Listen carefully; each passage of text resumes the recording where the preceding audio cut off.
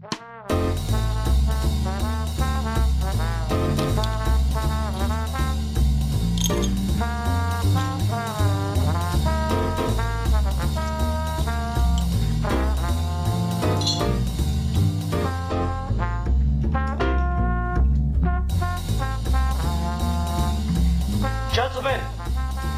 the time has come once again to discuss things.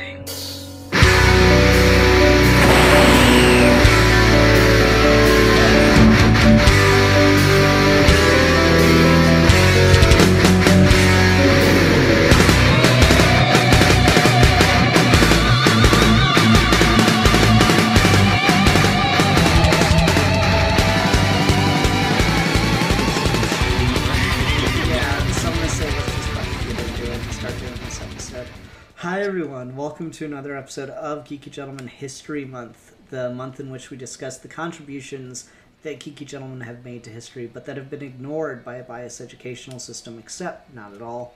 I'm Sid Partu, joining me today is A geek for fun. Ah, yes. So here we are to discuss your um, personal responsibility for the atrocities of the British Empire. whoa, whoa, whoa, whoa, whoa.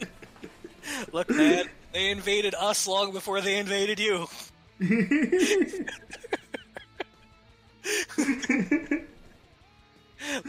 give you a little history lesson on the British East India Company. Uh, anyway, Yes.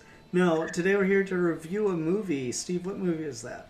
all right. So, I, and I have good reason for this, so we can talk about the the reasoning behind it if you want to. But um, I wanted us to talk about Tim Burton's 1994 biopic Ed Wood. I, you know, it's one of those things where, like, you know, when when you uh, hear someone talking about certain things, like piecemeal here and there, and then they're like, "Oh, you should watch this thing." I go, "Oh, that's where all this came from." Because you were talking about Bela Lugosi and like union stuff, like really hard a couple weeks ago, and then I'm watching this. I'm like, "Oh, so he watched Ed Wood a couple weeks back, huh?"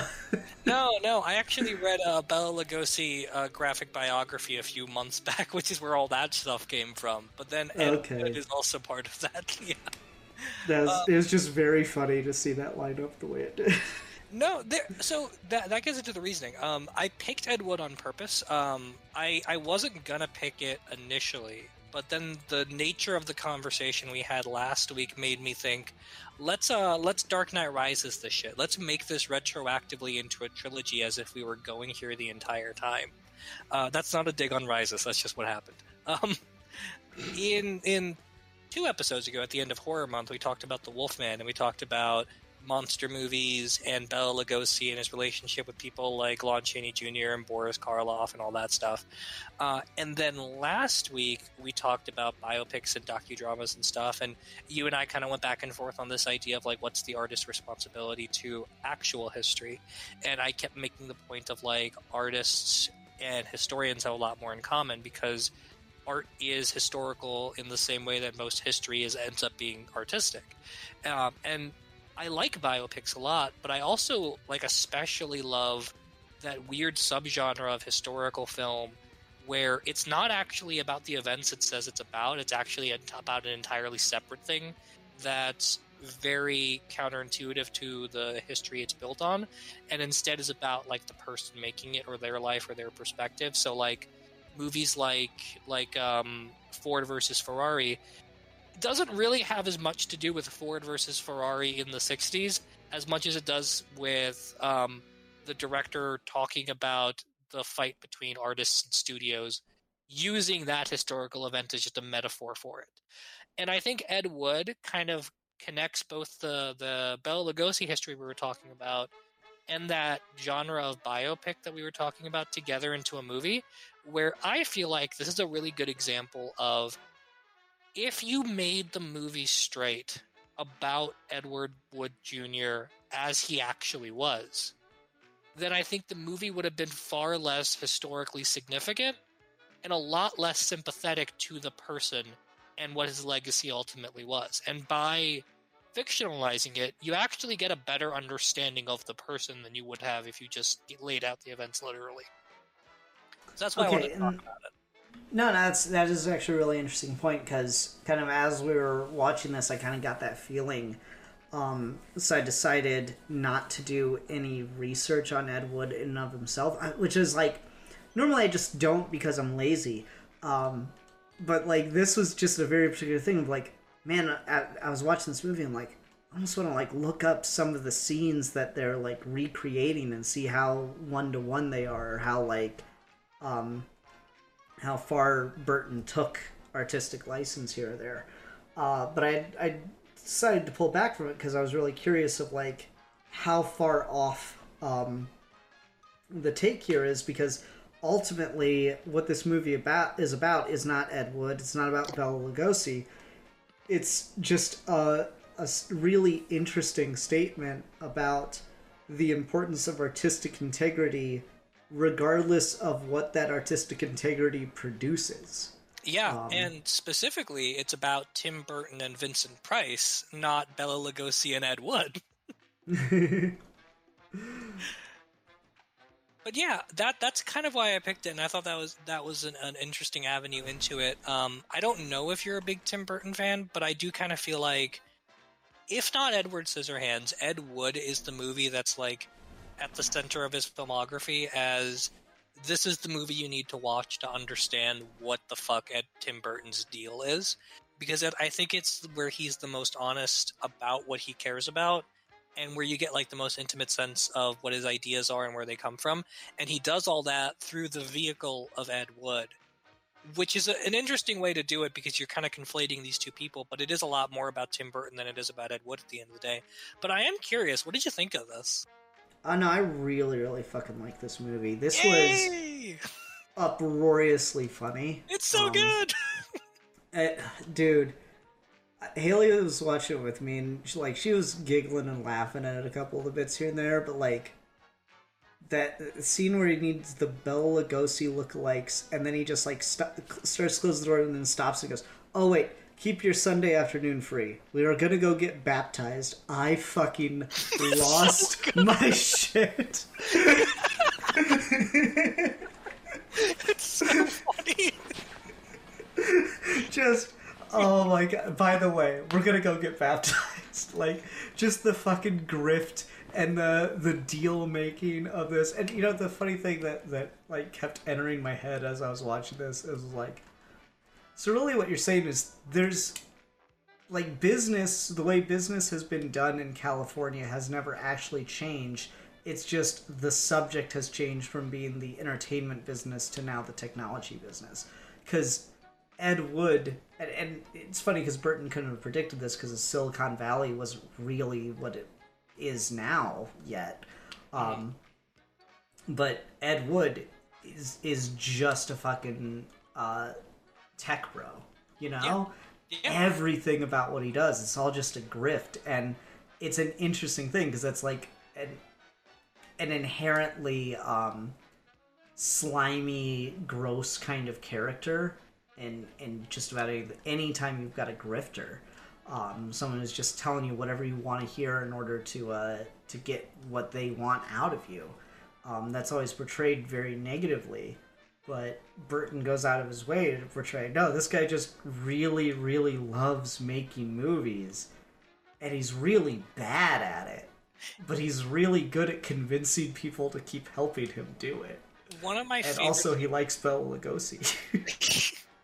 one of my favorite things about the movie is um at the end when it does those title cards that tell you where everyone was at the end of it in real life um and it ends ed woods on him being named the worst director of all time and like Mhm. that's its little statement on him and you spend this entire movie watching him being endeared to him enjoying this sort of like naive optimism he has about artistic integrity in making movies but more importantly making movies with his friends and people he cares about and just doing the weird kooky things and that come into his mind and and quoting along to his movies as the actors are saying it and like just being really enthusiastic about it. And none of it's good. But at the end of the day, he wants the opportunity to do these things because that's what he finds purpose in in life, and that he's stuck in a, in an industry that makes you into a grifter, where he, you have to make promises that you're never going to be able to keep, where everything runs on money. And a lot of Tim Burton's movies are ultimately about outcasts and monsters in uh, in a context where the real monsters and and the real people that you're supposed to sneer at are the suburban happy people and capitalism Mhm. at large and like th- tracing all that back specifically to Ed Wood and his obsession with monster movies is a really interesting exercise but it also just is such a loving portrait of him and it's he says in an interview somewhere uh, Tim Burton where he's like if you made this movie with any sort of objectivity then Ed Wood would not be a sympathetic character whatsoever. But you, if you want to make it interesting, you have to approach it from his eyes. You have to approach it from his earnestness. And so, like, he read a book about Ed Wood's life. He read Ed Wood's letters and stuff, and he was enthralled by just how sincere and happy this guy seemed to be, even when he was delivering some of the worst things you've ever heard. Um, he he makes this joke about like how Ed Wood can say in five sentences what any normal person can say in one, and that's kind of what he wanted to capture is that kind of weirdness. And in Ed Wood, he finds a kindred spirit for himself because his relationship with Vincent Price and getting to work with him on a couple of movies is Ed Wood's relationship with to Bela Lugosi as it's laid out here. Um, and it's really interesting to see like old school 30s monster movies that Bela Lugosi would have starred in are also the foundation of the aesthetic that Tim Burton draws from for his movies in the 90s. So like it's Mhm. this really cool like cycle and that's why I say like as a historical artifact I think this movie is way more historically interesting than any book you could read about Ed Wood. I, I certainly would agree with you in, in that regard. Um, for me, the thing that really sold me on this movie was just how fucking funny it was. Like, Yeah.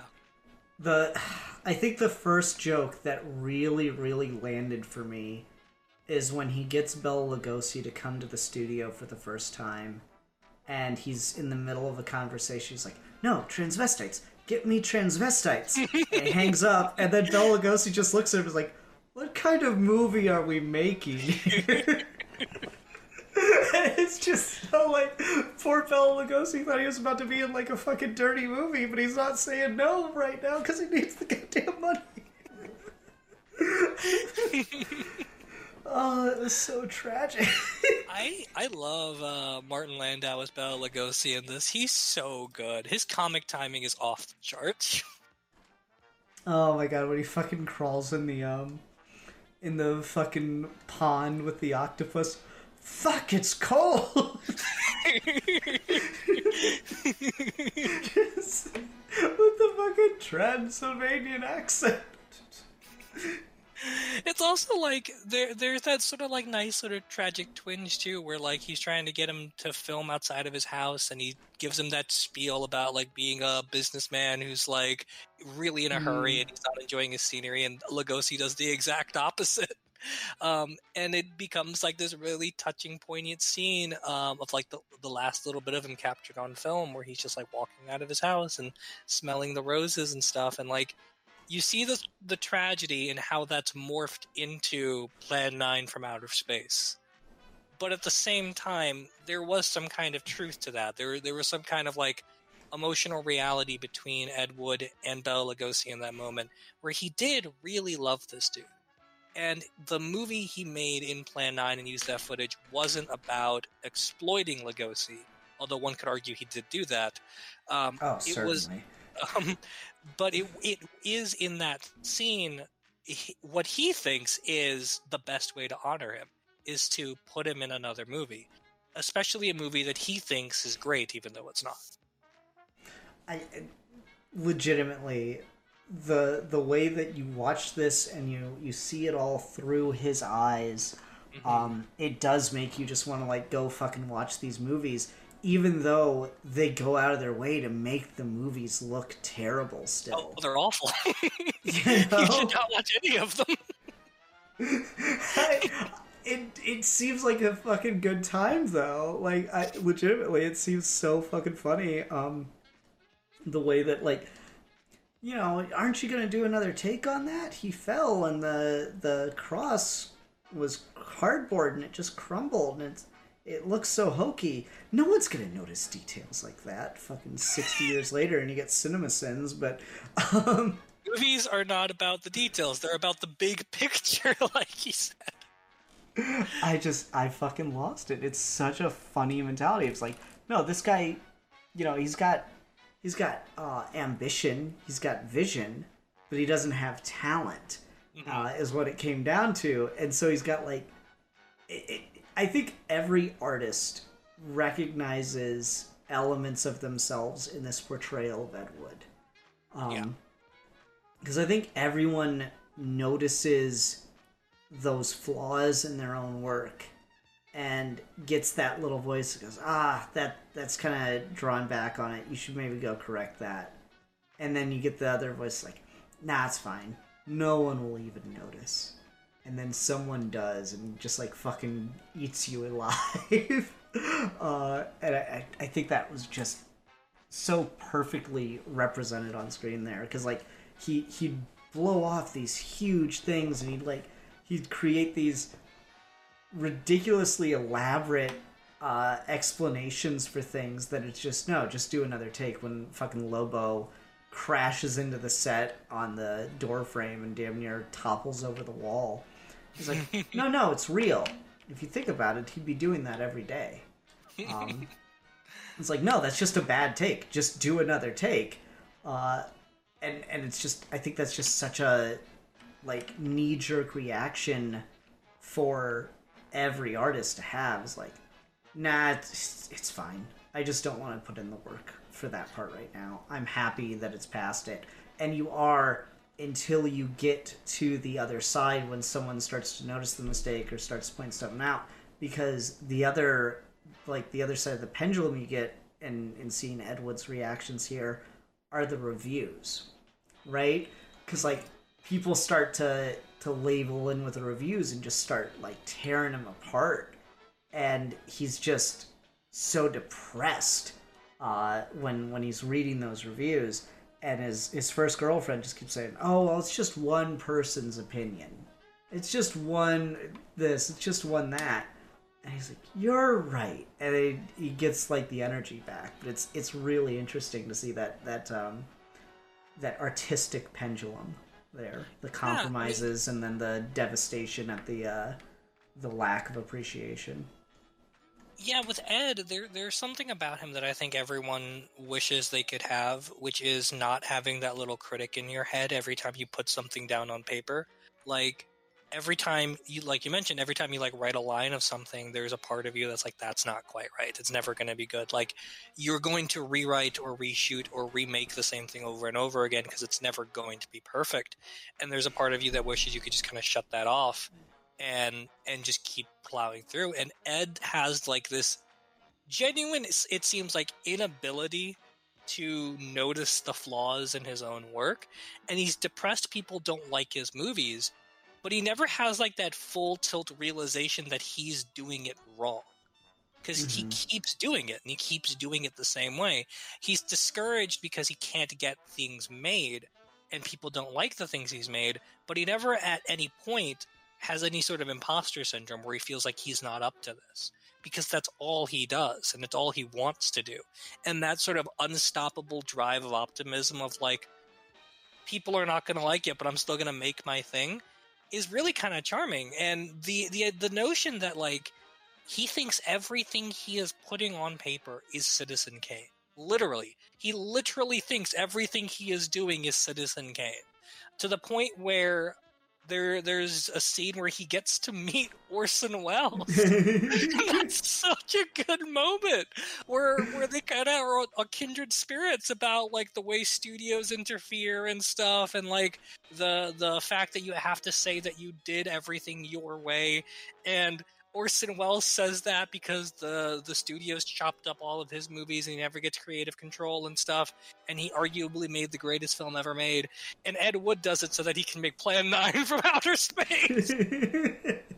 It's so good. it's it is very impressive, honestly, and it's it's so funny because it kind of recontextualizes like Burton's isms um, throughout the entirety of his career after this, and makes you wonder like. Is the white paint and the Dan- Danny Elfman and the Johnny Depp and Helena Bonham Carter is that all like this is just what he wants to do he always wants to put his friends in Yeah. in these things or is it that like the studios just expect him to do that so he can't make a movie without doing those things now um is By is like a point, true it- question by this point, I think it's the former. But as time goes on, I think it becomes the latter. yeah yeah Um, well no in the 90s it's certainly that that he wants to work with his friends i'm talking about like as time has went on Yeah, as his yeah. career keeps going back to these same familiar elements Yeah. um, how much of it is no the studio just expects you to do this because this is the the proven formula this is the machine um, Yeah, by the time you get to like Dark Shadows and stuff, it's definitely like that's what the studio wants, as opposed to like when this was being made. There, there was that element of he just wants to hang out with his friends, uh, Oh, which is sure. funny because um, this is a movie that uh, most of his friends are not actually in, because uh, there is no Danny Elfman doing the score, there is no Helena Bonham Carter, um, and part of the reason for for Danny Elfman not being a part of it is um, the two got into an argument over Nightmare Before Christmas. really Yeah. in, in what regard i've not heard this story Oh, I don't know what the details are. Apparently, they just like got into a disagreement about it. That's a that's a weird one um, because Nightmare Before Christmas has nothing to do with Tim Burton. Really, he was the producer of it, and he got his name before it. Um, i mean it's his yeah. book still but yeah Yeah, but he he wrote the movie, um, but it was directed and changed up considerably, uh, and his name is just kind of on it. And Danny Elfman did the music for that, which just came out a year before. And then because of the disagreements Elfman and Burton had on that movie, is part of why he didn't pursue Danny Elfman to do Ed Wood, uh, and instead he got Howard Shore to do the score, who was still really good. But it, it does sort of feel like this is just knockoff Danny Elfman. I I honestly didn't notice the score at any point. It's that's something I usually don't notice unless it's like a um recurring theme or something. I usually don't notice score until like multiple viewings. Mm. Um, yeah. I don't know. It was, it was a fucking kind of crazy movie to watch, and like it just took me back to like when I was making movies with my friends, and we were doing a lot, you know, the guerrilla filmmaking. This would be like proto guerrilla filmmaking, even. Um, just the fact that they like broke into the Warner lot to steal the octopus and shit. Uh, you know, I just remember doing shit like that, like not breaking into places, but just doing crazy shit to get a shot. And like, I remember there was a like, time where uh, at the beginning where like they get a shot and the cops are, are coming in they're like we don't have permits run Yep. Yep. Um, like cops shutting you down fucking sucks dick. I remember one night where um, we're gonna film a scene in uh, a local park, and it was you know a horror movie, so it had to be night, and we're just getting set up. We're getting everything ready. My buddy Nick is filling a condom with fake blood so we can strap it onto one of our actors to uh, be a squib.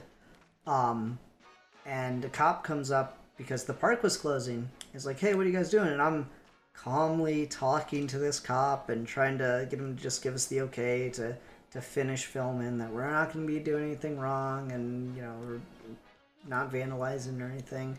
We live in the neighborhood and stuff. And uh, then my buddy Nick comes over with a fucking condom filled with fake blood. He goes, "What the fuck's the problem here? I work for the Parks Department. This is fine."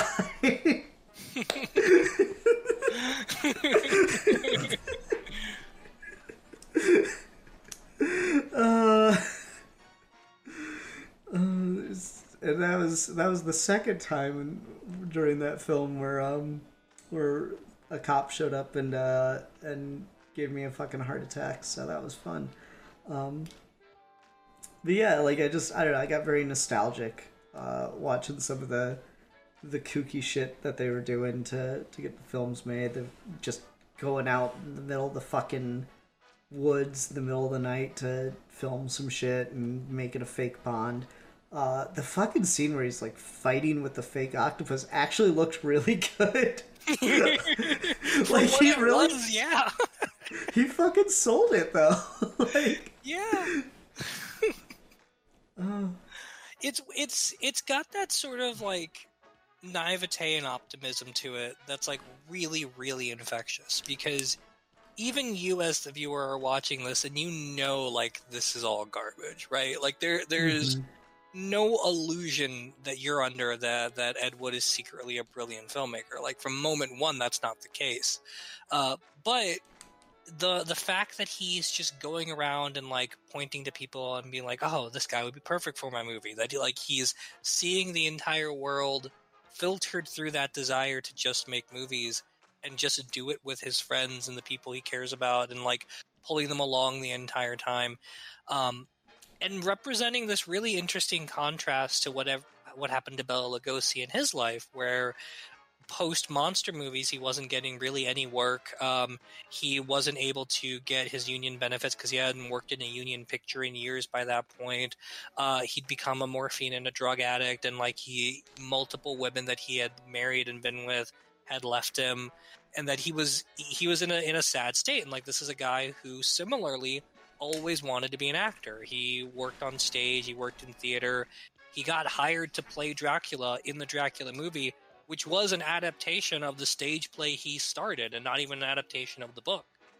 And so like you see this guy kind of rise up and Ed Wood definitely sees himself in Bela Lugosi and then seeing him washed up like this, it doesn't spark any sort of like introspection on his part. It doesn't spark any sort of desire to like think about the industry he's in and the direction he might be headed in like another more more true to reality biopic might have gone.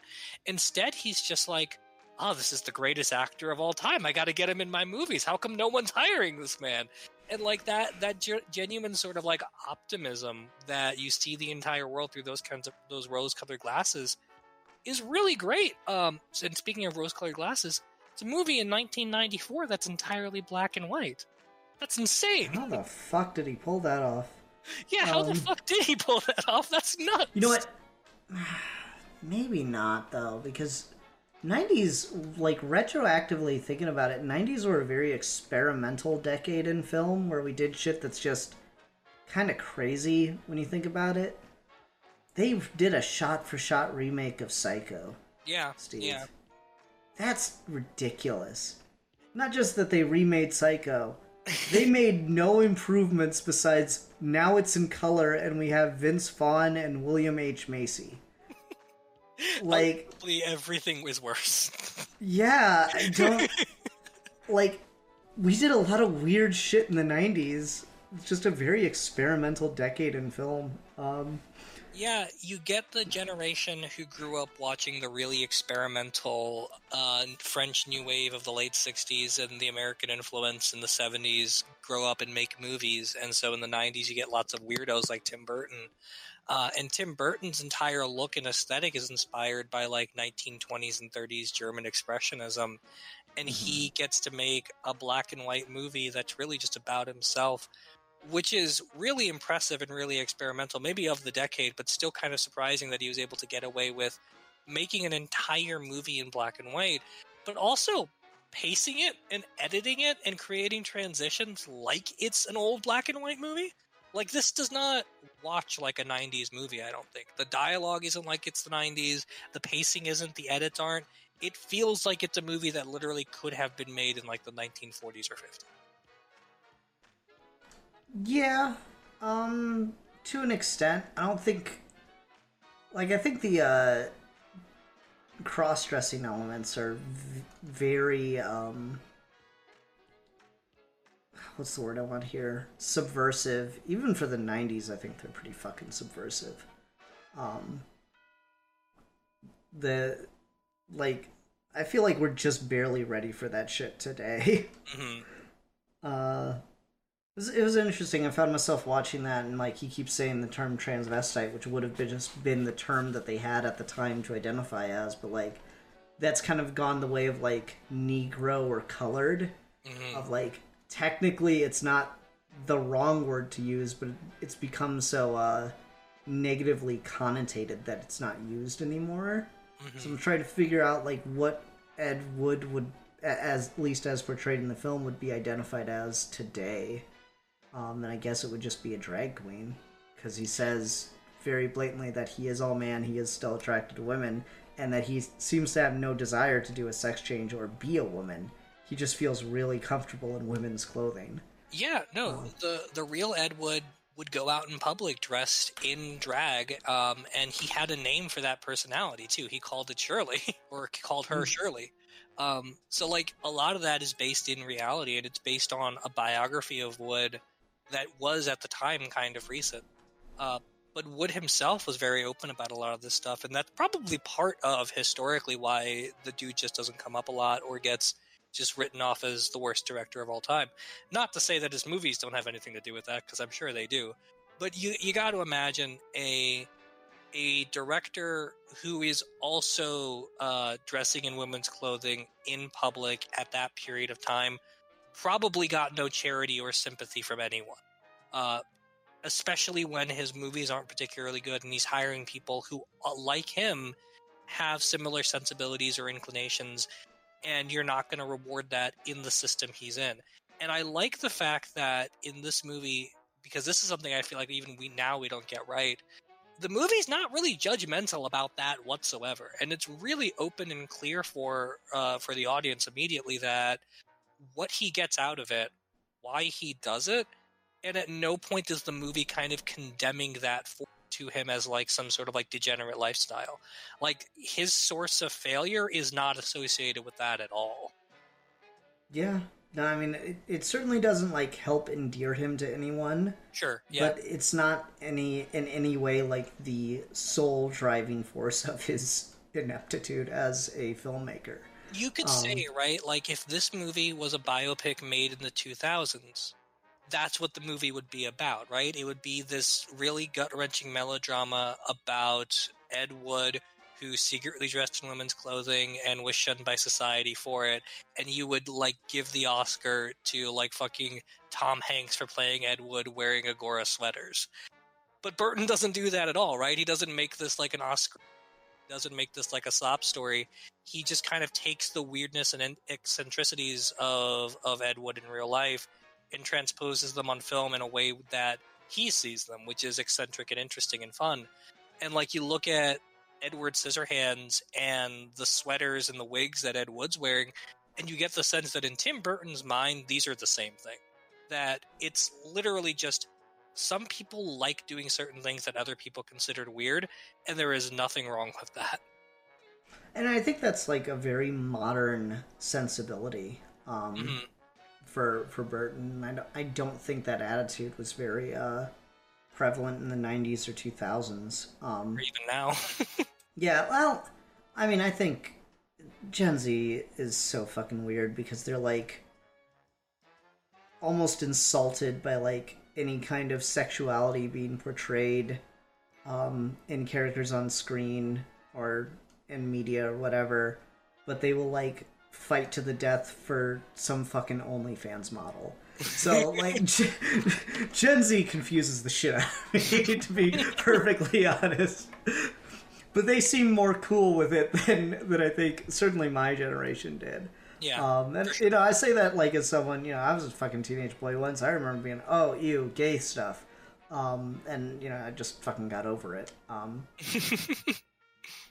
you know, it's like, yeah, it really doesn't affect me, and I don't know why I f- need to feel like so insecure in, in order to put on a show that, like, well, I'm not. I'm all man. Meanwhile, fucking Ed Wood in this movie is like, oh no, I'm all men. I'm all man. I just really like to wear bras and panties. like, fucking you do you, bro. like I, I don't know. I, I thought it was actually a really sweet scene when you get like the uh, the spook house. Uh, it was so cute. Like how he's so excited to go see that. Um, and like the ride breaks down for a minute, and he just stops there with this this new girl he's dating. He's like, just comes out to her. Um, I guess we'll just use the big banner term as queer, not as like gay, not as just like the big banner term of queer as in strange. Um, and like he just comes out and she's like, "Oh, so it means you don't like to do it with girls?" He was like, "Oh no, I like that very much. I just like to wear their clothes too." okay. I'm like that's I don't know. I thought that was just actually a very sweet um, scene, uh, like that felt particularly modern. Like I could probably upload that as a YouTube short or a TikTok or whatever, and be like Tim Burton had it all figured out back in '94. You Yeah. know, and and it would probably fucking pop off and do actual numbers. No, I mean, And I, Tim Burton be like, "Motherfucker, how did he, do- he undercut me? Thirty years later, he got my ass." yeah, no, I mean, I, I agree, and I feel like um, a lot of the the interesting aspects of what Tim Burton brought to this movie in the historical in the historical life of Ed Wood versus what he chooses to present are things that in a more contemporary mindset we might question in ways that are not super charitable or sincere. Um, like now you might ask a lot of questions of like what right did tim burton have to make a movie about ed wood who was a crossdresser if he himself is not a crossdresser uh, like Get the fuck out. right yeah no like that that's an attitude people have though and the rebuttal to that is that Tim Burton sees something of himself in this person and that's what he chooses to bring out. He didn't have to be the same kind of person, but at the end of the day, what movies and what art do is that it gives you sympathy and understanding of different perspectives and it presents them to you in a way that are approachable even if you don't live the same life. You don't have to be a South Korean woman who immigrated to the United States and learned English to like past lives. And in the same way, Tim Burton is is doing something here with Ed Wood's life that has consequence for other people, but it's positive, and he's contextualizing it in a way that makes sense for him, which is just what everyone does. And again, this is that's part, again why I wanted to like bring this up for History Month, in particular related to the conversations we had the last couple of weeks, because I feel like it is doing something that's like really toeing the line between fiction and reality here. That's hard to put into words. Uh, that doesn't just come down to is it a good movie or a bad movie because it gets some people right and some wrong. Um, his first girlfriend in the movie, uh, Dolores Fuller, is someone a lot of people complain about that his portrayal wasn't sympathetic to her. That um, he kind of makes her seem like too much of a shrew, uh, and people were really mad about that. Um, and I, I can understand if you knew that person why you would say that, but for her function in the movie, I really don't see that criticism. I don't think she's particularly bad. I think she's just incapable of viewing life through the same honestly delusional lens that Ed does. And I don't think she comes off as unsympathetic for not sticking around with him. Because at the end of the day, if you were this dude's friend, at a certain point you would have to dip too, right? Like nothing is going this guy's way and he refuses to see it. And if you have the ability to just kind of pal around with him, good on you, but I would not judge anyone for abandoning him. I mean, it's not like she just fucking cuts and runs on him the first time things get difficult. She Right. sticks with him. She helps. She's like she makes the point that she's literally been the one paying their rent um, together. That she's been super supportive of him, and like she was certainly gaining something from that because he was letting her star, giving her these big roles and all of the things he was doing. So she thought that like maybe if I just believe in him, it'll go places. You know, artists they're kooky. Um, and I think for someone in what is this? This set in the '60s. Uh, I think for someone in the '60s, having their boyfriend come out as queer like that, especially in the way he does, where it's like he just informs her through a script for a movie that he's already gonna do, and then she just opens the door and there he fucking is dressed in her clothes. Um, I think the portrayal of her, especially for a person of this time, is actually pretty reasonable. Like I don't know anything about her in real life. I don't know how cool or not cool she was with queerness, but I don't think that like the vast majority of her problem really comes from Ed being queer. It certainly doesn't help things. It's more that like he's actually a pretty shit boyfriend to her. Yeah. Uh, like I just just full stop. Like he gives away her part to someone for money that he didn't even like actually think through enough, didn't secure the bag first. Um, he is literally mooching off of her. And he's making these really fucking bad movies and then just like moping around the house waiting for her to bring him back around and get him his motivation back. He's yeah, like again, what you were talking about earlier, where if you just portrayed it from a um, objectivist outside perspective, Ed's a fucking jerk. Um, Yeah. but it works when you when the the soul of the movie works in the way in which you're trying to get inside Ed's head and see the world through his eyes. Um, that opening scene, or not even opening, but like that really early on scene that you mentioned, where like he comes out to her through a movie script, I feel like is is such a cool point in the movie to kind of unpack the whole thing, because he has no connection really to this producer who wants to make this movie. He really cares nothing about the real story. Um, he wants to make a movie. He sees he's in, which is the fact that he's a crossdresser. Not even that he's trans, but that he's just a crossdresser. Uh, and he takes that as an opportunity to get hired in the movie. And he's not thinking about it on any deeper level. Uh, he gets the job. He writes the script, and the real him comes out on paper because that's what he does. Is that everything he puts on paper is an honest reflection of himself, um, which opens the door to that larger criticism of if if everything inside you is just this crap, then maybe you're not the greatest person in the world. But that doesn't make it insincere, and it doesn't mean that he shouldn't be allowed to make these kinds of sincere, although bad movies. And the fact that he comes out in that way where he announces he's going to play the part, that he's been doing this the entire time, that this is his way of sharing his world with people is really interesting because then the whole rest of the movie is just that he makes friends by casting that random strangers in his movies that he gets to know through the roles that he set he creates for them. Uh, and there is that sort of like double-edged sword that sort of again kind of black and white idea of if you're looking at this from one perspective this guy does not understand reality. He doesn't treat people like they're real people. He's writing them roles in his life in a way that's actually kind of manipulative and awful but on the other end of the spectrum, there is this this innocence and this joy and this camaraderie they all have each, with each other, where he's trying to fit everyone he cares about into his life, and his way of doing that is just making movies with, and he's proud of that and he enjoys that, and so like I I wouldn't even necessarily call this like an uh like an overtly optimistic movie at all turns. I think there is like a lot of dark undertones hiding just below the surface of it.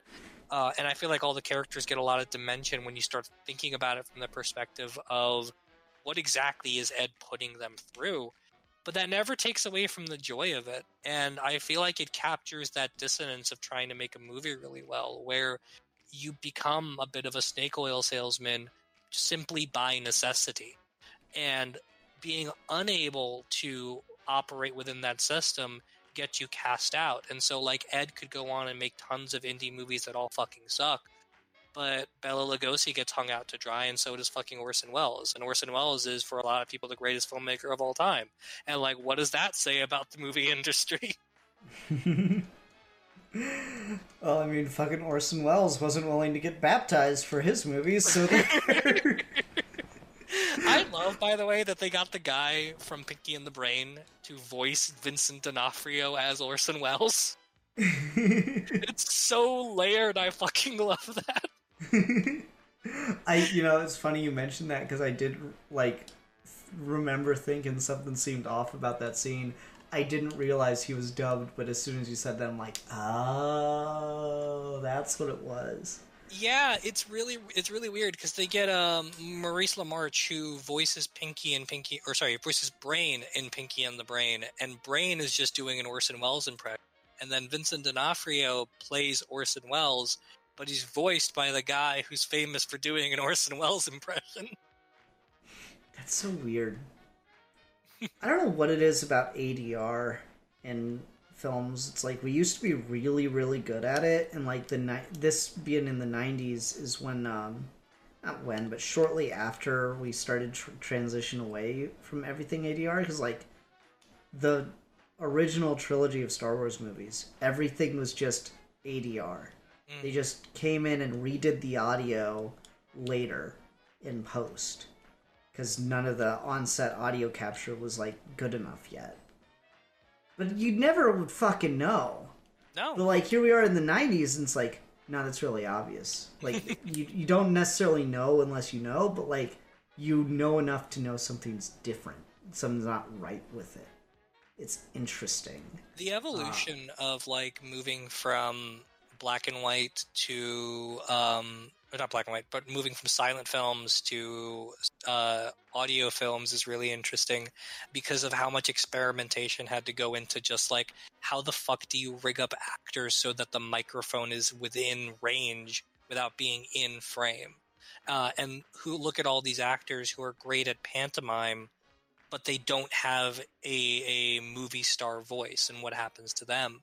Um, like you look at like classic movies like Singing in the Rain, which is its own like really weird meta circle because it's a movie that happens as we shift away from black and white into technicolor but it's a movie set during the shift from silent to talkies. And so it's about both of those things at once. And like you get a lot of interesting little tidbits here and there of like how does the movie production have to change in order to add sound in the first place? And then just last year you had a really underrated movie babylon um, that does the same thing where you have margot robbie as like this really great silent actress that starts making talkies and there's like this 10 minute scene where they just have to keep redoing the same opening beat because no one can fucking get the sound equipment in the right position because no one's ever done this before. It's really, really good. If you haven't seen Babylon, I'd recommend it. I think it's a great movie. But just look up the Margot Robbie scene where they're trying to film a scene with audio. It's fucking incredible. Damn, that sounds fucking hype. It's so Um, good. You literally see this poor woman lose her goddamn mind if she has to say this same line one more time.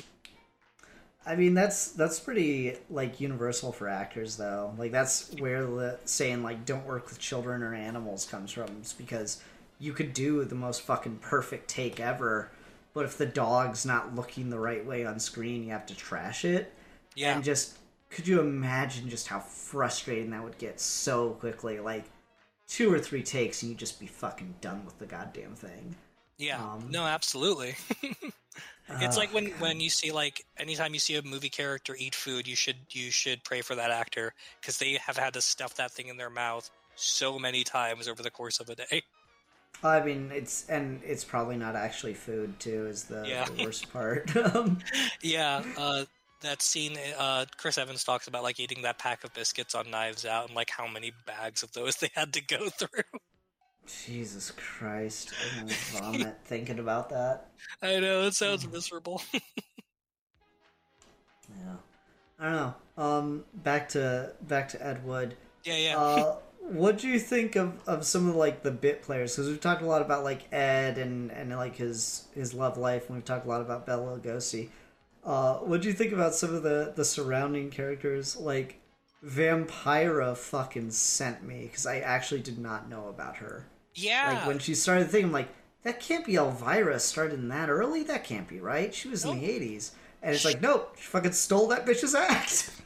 Yeah, no, Vampira came first, and she actually sued Elvira for stealing her act, and it didn't go her way. I mean, I don't know how she didn't win because It's very obviously. no, I agree. I agree. Um, is a lot of fun. Um, I I like the bit um after she loses her job and they're in the cafe and she's got like the sunglasses on and she's like, "I'll be in your movie, but like, you can you like minimize my role? Can I not speak? Something like that. Like that's really cute." Um, but the wrestler dude, I loved him. What what the fuck was his name? Um, whoever, Tor Johnson. Tor Johnson. Yeah. Tor Johnson, where uh, he sees him like be this big burly man in a wrestling ring, and then when he's in the back getting a massage, uh, and he's got He's like just fucking eating a rotisserie chicken. eating a fucking rotisserie check- chicken covered like head to toe in hair, and he's like you're an actor, and that's so good. You ever Uh, thought about being in movies? I'm too ugly. I and that that's part of like where the endearing side of of, of Ed comes in because like you look at that scene and he's like, oh, this is kind of cute. Where he's just like, no, he sees something in this dude, and you got all these great bits of physical comedy with that guy because he's just a big hulking wrestler and he's like barreling through the this movie set. Um, the bit uh and the towards fact that like he learns to act by watching Bela Lugosi overact. yeah. the bit at the end when like he finally gets his way uh, filming plan 9 and like he pops out of the grave but he gets stuck and then the two cops have to go in and pull him out and the whole time you're just wondering like so that shot is ruined right There- there is no way you're keeping that shot right no, we're gonna keep that shot. Just reminds me of the fucking um the Simpsons episode where they where Mr. Burns makes the movie about himself. And, and it, like you get to the scene where he's trying to like glamorize his life and he's like on a horse and he's gonna go um, fight the enemy uh, to save the day. And he says yeah and the horse just starts fucking like galloping away he's like falling off the back and getting dragged and sh- bumping into shit. And it just cuts to the movie theater. He's like we did 96 takes and that was the best one oh no absolutely uh, and then i loved um, i loved bill murray in this i thought he was fantastic Yeah, it was, it was pretty good. It was a pretty bit part for, for Bill Murray. I, was, I, I thought he was maybe a little underutilized, honestly. Uh, that's fair, but there, there there's definitely some stuff there um, with Bill Murray's character being like an actual drag queen and making jokes about going down to Mexico so that he could get a sex change. Um, that's again another bit that sort of feels like this movie is definitely feels a lot more like queer and sex positive than I think anyone was expecting in 1994. Yeah, no, I, I tend to agree. Um, what's the fucking one where they got the van out in the desert? That's like the 90s as well, isn't it? Which one? Uh, it's like an Australian film. Uh, where it's a bunch of drag queens get on a van to uh, go across the desert and go to a, like big drag thing, drag event. Um, the Little Rain or something like that. I don't, I don't remember. Um, I think that's like late '90s. So just interesting era for this stuff, I suppose. Um, kind of maybe informs why it was why some of these things became a little bit more acceptable Mhm. we've we've come to the modern day is you know the seeds are planted in the mid to late 90s and then things just kind of inch inch inch in more. It's kind of interesting. Um yeah those guys those are all pretty good. Uh again the Vampira just fucking killed me because she was just like I really like Elvira. I watched Elvira's movie, which is also not very good, but very funny. uh, how fucking gets out of a or is walking down the street and something lands on her fucking noggin, and guy is all concerned. He goes, "Oh my god, how's your head? Haven't had any complaints yet." um, fucking shit, So good. shit post lines. Um, but like I don't know, it's it's kind of interesting to see just the the way that developed. I'd, I'd never heard of Vampira before. I was just like, oh, it's Elvira. She really started that early? No, no. Uh, that, that was an interesting thing to discover. Uh, and then the fact that she's just like wearing the same costume in the movie is really really funny. Uh, Ed Wood fucking found someone else who was like floundering and it was like, ah, I'm gonna jump onto your rising star. Oh. so this is that was pretty interesting. Um, Sure. just just down the rabbit hole of of Elvira versus Vampira. Um, so Vampira sues Elvira for literally stealing her whole act, um, and then the court sides with Elvira. Um, and their reasoning is actually kind of interesting because they said essentially what Vampira is attempting to copyright is just wearing a dark black dress with movie props and the actual character of Elvira is nothing like Vampira because it's a parody with graveyard puns and comedic dialogue, and you can't trademark those things. So if Elvira is infringing on Vampira, you'd have to say that Elvira's act is the same as Vampira's, and apparently it's not. I mean, maybe like the portrayal that Burton does here is intentionally leaning on making it more apparent. Probably, Um, yeah, yeah. I've So never seen there- Vampira, so Yeah, I'd have to see like an actual Vampira fucking broadcast or something to really get it down. But man, oh man, if like if even a fraction of it is the same, like, nah, come on, come on, that's that's just get the fuck if out. Burton is intentionally trying to like ham it up, it does kind of fit with that whole sort of like cyclical nature of the whole movie of like how things are influencing each other, like the direct line from Cabinet of Dr. Caligari to Bela Lugosi to Ed Wood and Vincent Price all the way down to Tim Burton. And then back again would be the same thing that's kind of going on with Vampira and Elvira and like a microcosm. Possibly, I think that might be a little bit of a stretch, but possibly. Um, it was just I don't know. It was just an interesting little little tidbit. Uh, the the younger actor in this, that's that's playing one of Ed's like crew members or whatever. Uh, I thought he was a bit underrated. Um, like we, we haven't really mentioned him much, and he's not like he's definitely not like the funniest character to watch or anything, but just the way that he just rolls with stuff and kind of comes off as just like this kid you can tell anything to just made him a really funny character to me. The kid that like gets the Bela Lugosi lookalikes and stuff. Yeah, well, I was Yeah. thinking like when he played Fu Manchu, you know? Oh, yeah. that's, yeah, that's a really good line. Yeah, it, I, I, you do definitely get the sense of him of like, uh, of feeling like their relationship is like this kid clearly feels like he's being mentored by Ed Wood in a certain way, uh, and in, eh, and it's a tragic relationship because Ed is not going to help his career whatsoever. I mean, you know, any work is work. Um, Yeah, that's fair. Yeah. I don't know. There's just like a lot of really good scenes in this that are like again just really funny. That we were talking about the uh, the first girlfriend character, and I just really like their breakup scene quite a bit, where Ed's you know fucking doing a, a strip tease and everything and dancing with Bela Lugosi, and she just fucking had enough of it. She goes, like, what's the exact wording? She says, "These movies are crap, and you're all fucking kidding yourselves if you don't think they are." like she just fucking tells it like it is and it's kind of you know endearing honestly it just that that was one of the moments that just made me crack the fuck up because i'm like okay so it's not like they were just making these and everyone was pretending they were actually going to be good like they had someone on the on the lot telling them that the movie was bad it it does kind of like raise that fun contradiction in the whole thing of like this whole movie is very optimistic and happy about everything, but everything you're watching is kind of awful. And then uh, Dolores calls out how bad everyone's movies are and leaves. And then the final note title card is, and by the way, he wrote songs for Elvis. So she Mhm. just saved her fucking self from leaving.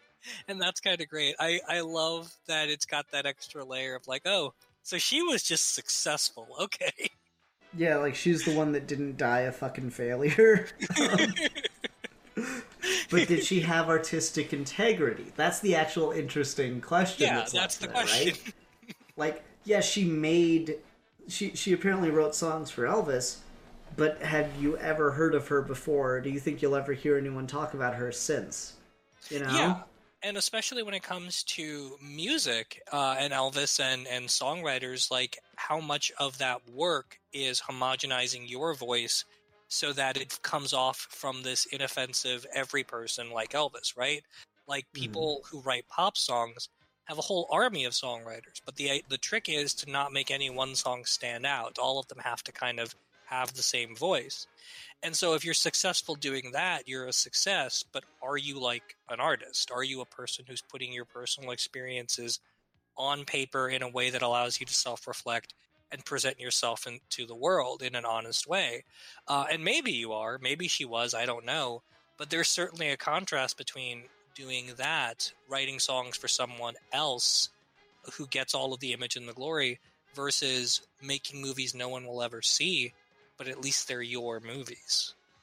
Absolutely, and I think I think it like leads into that that distinction um, in arts, which is there's like the craft, the skill in and of itself, and then there's the kind of the muse, the ambition, the the vision. Um, and it's interesting because she would seem to embody the character that actually has the craft and the skill, and Ed is the vision, the ambition. But like they're both kind of. It's interesting that they're they're together at the beginning of this movie because they're um, ideally they should be like lifting each other up. Like she's adding the craft to his vision and, and refining it. Um, and that's not what happens at all. That's why they end up having to go their separate ways. Um, because they are just like essentially they are the unchecked versions of both of those things. What is craft without vision? What is vision without craft? Mm-hmm. Um, you get kind of you know Ed, and then you get like here's this forgettable person that like went on and was successful, but no one cares because she didn't do anything. She did stuff for others. Um, this, is, uh, this is a very very fascinating film to watch. I love it. I think it's great. Um, unless you had something else, I did want to mention and kind of go on one other tangent if you've if you've got a minute on it. Uh, absolutely. All right, all right. So I want to I want to talk about how this fits in Tim Burton's larger work and Okay.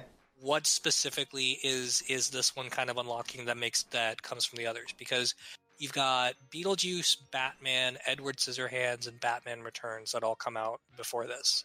Uh, and if you watch those movies in I sequence, thought Returns was nine. No, that'd be Forever It was ninety five. Never mind. Ignore me.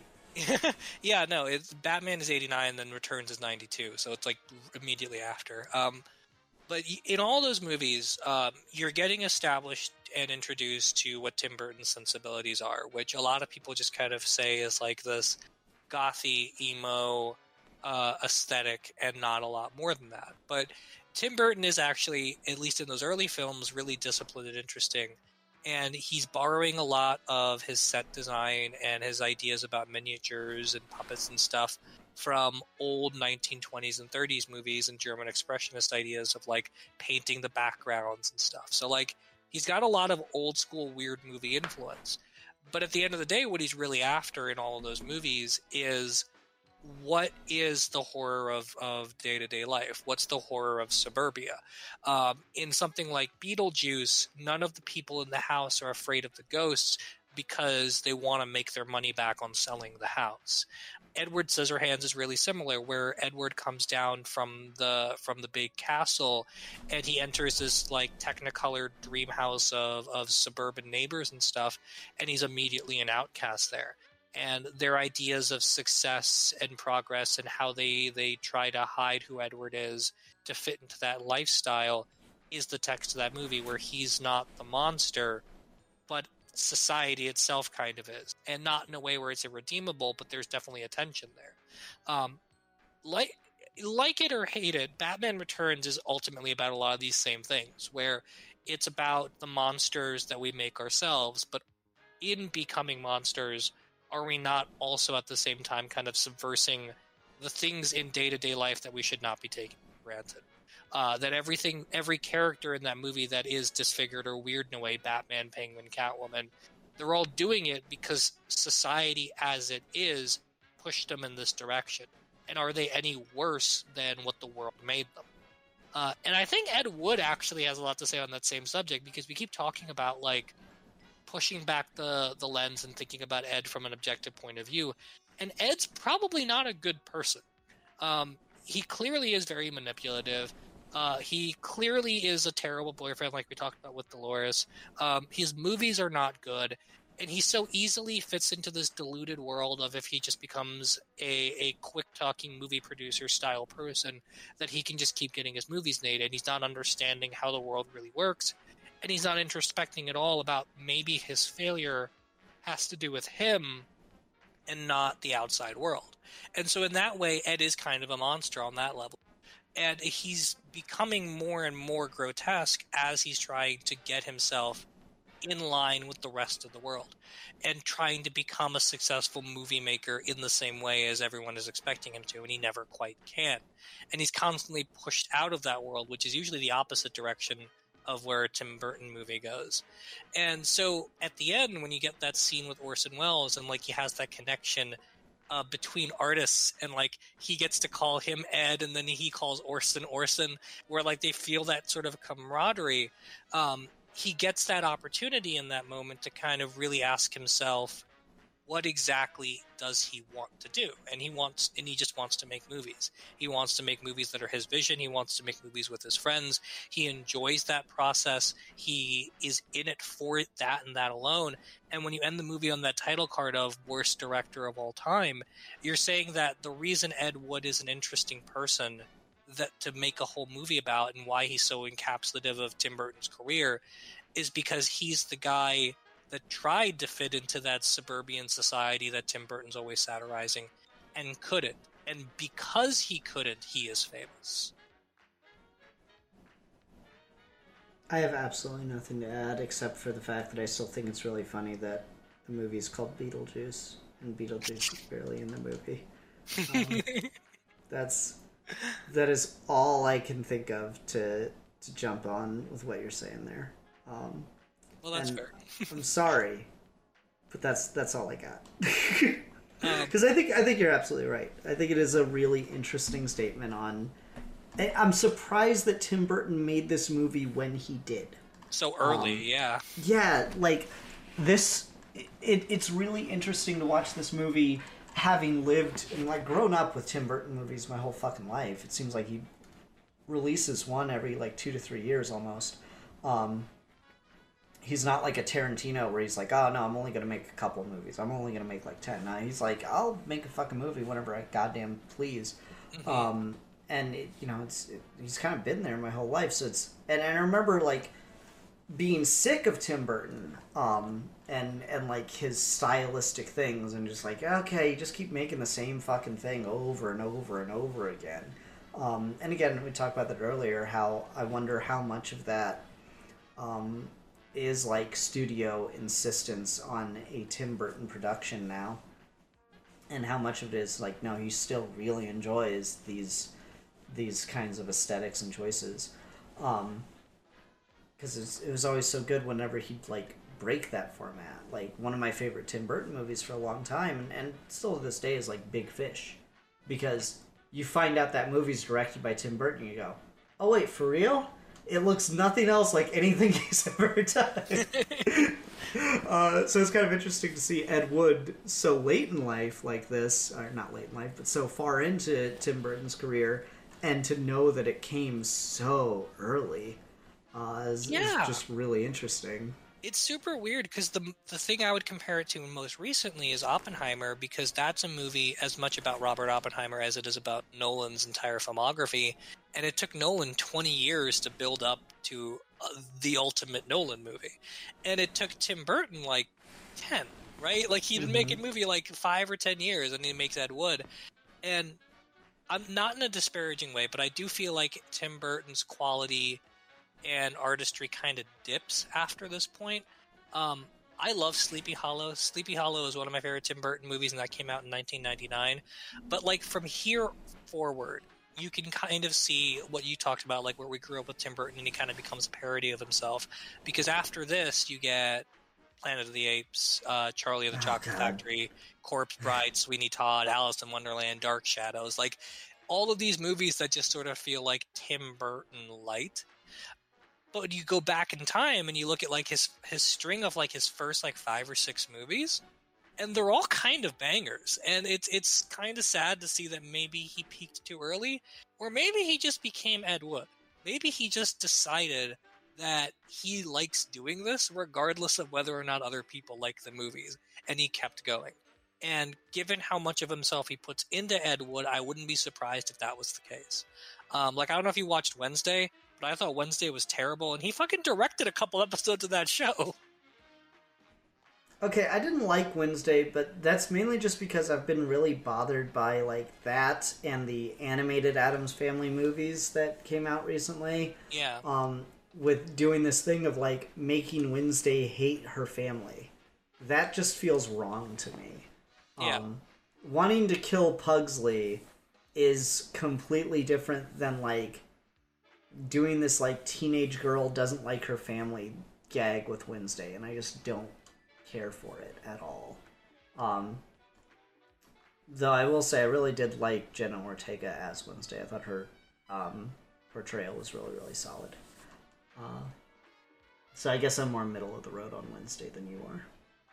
Uh, yeah, and I mean, I I just say that to to say like clearly the a lot of the work for hire stuff he's done since like fucking Dumbo. Um, like th- th- there's definitely a a hill he's he's hopped over here where he must just like making the movies or being part of the process and is less concerned with all of his movies kind of building towards a very specific statement because i think you could Mhm. like do a marathon of beetlejuice batman edward scissorhands batman returns uh, and ed wood and get like actually a very solid foundation of a guy progressing and growing um, and then post sleepy hollow it feels like that kind of stops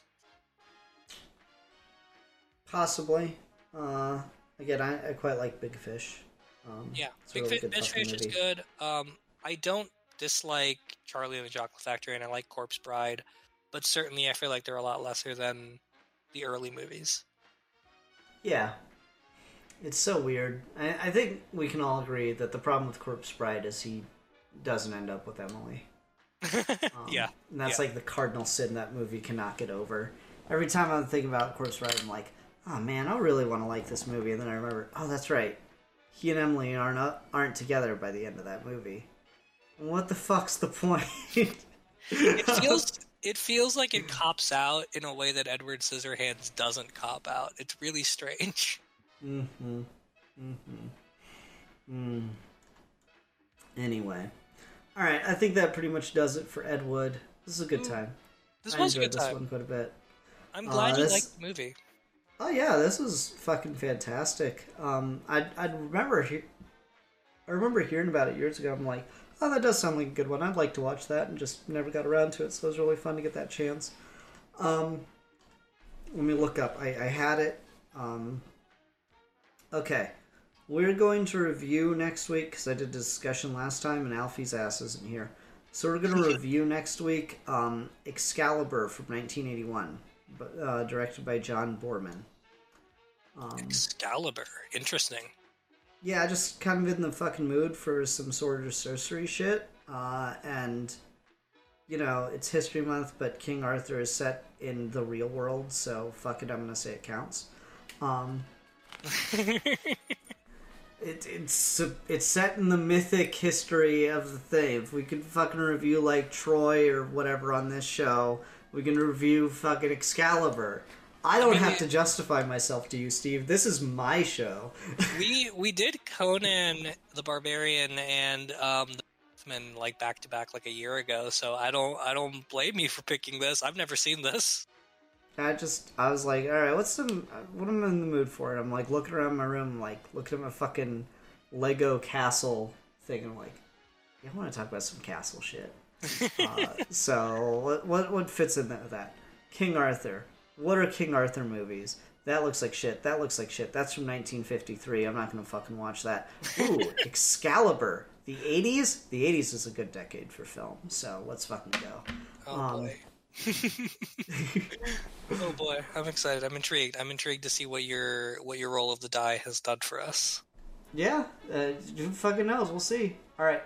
Uh, everyone, thank you so much for watching. Until next time, I'm the philosopher, And I am the historian. and we are your geeky gentlemen, and we will be discussing things.